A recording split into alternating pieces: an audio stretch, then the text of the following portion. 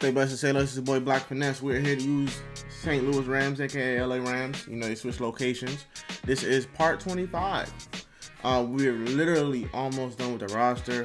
Um, this one might take a little time because the Rams got a decent amount of players. Uh, I'm still not excited for when the Steelers come around because that one's going to take forever.